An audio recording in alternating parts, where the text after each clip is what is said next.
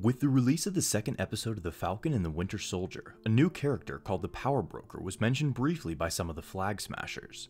Marvel comic fans will know that this mysterious individual plays a large role, especially in the life of John Walker, who has just taken up the mantle of Captain America. But for the many who don't know, who is the Power Broker? Well, the first to take on the mantle and alias of the Power Broker was Curtis Jackson, Curtis was introduced in Marvel Comics as the leader in a criminal organization known simply as the Corporation. Later, he would take his talents and leadership skills to found a company known as Power Broker Incorporated. The purpose of Power Broker Incorporated was to attempt to recreate Super Soldier Serum to sell to those who were willing to pay the high price for superhuman strength and peak human potential. Super Soldier Serum is of course most well known for Steve Rogers' transformation into the original Captain America. After Curtis Jackson founded Power Broker Incorporated, he teamed up with Dr. Karl Malus, a scientist who had previously done experiments on superhuman individuals.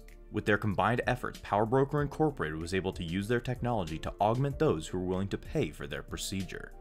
Despite the high price for augmentations, the experiments did not always see perfect results. The process was risky and often left the subjects with deformities or even brought them death.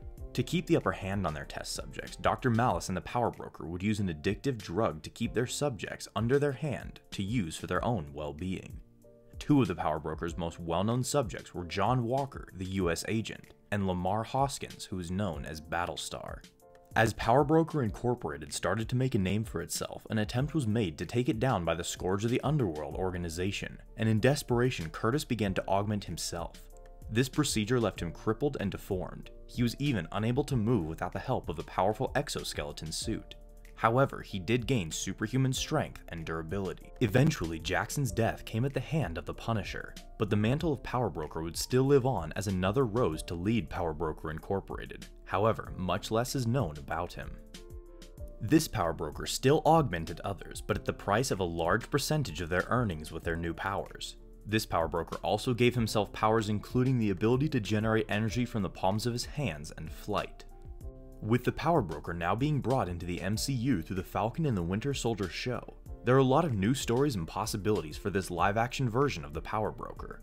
Let us know what kind of role you think he will play and what effect he will have on the Marvel Cinematic Universe going forward.